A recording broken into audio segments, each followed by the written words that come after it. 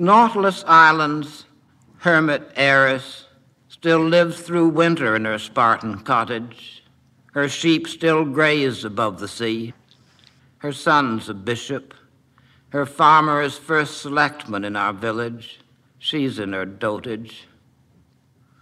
Thirsting for the hierarchic privacy of Queen Victoria's century, she buys up all the eyesores facing her shore and lets them fall.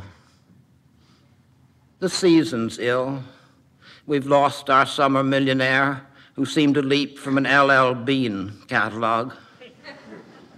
His nine knot yawl was auctioned off to lobstermen. A red fox stain covers Blue Hill. And now our fairy decorator brightens his shop for fall his fish nets filled with orange cork, orange his cobbler's bench and awl. There is no money in his work, he'd rather marry. One dark night, my Tudor Ford climbed the hill skull.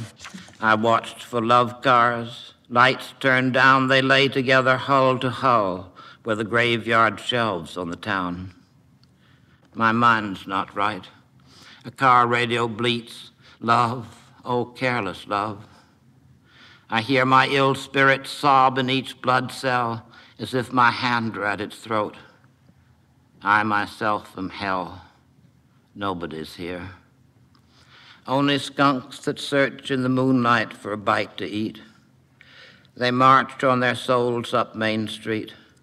White stripes, moon-struck eyes, red fire under the chalk, dry and spire spire of the Trinitarian Church.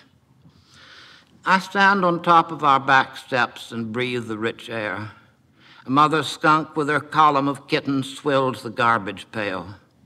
She jabs her wedge head in a cup of sour cream, drops her ostrich tail, and will not scare.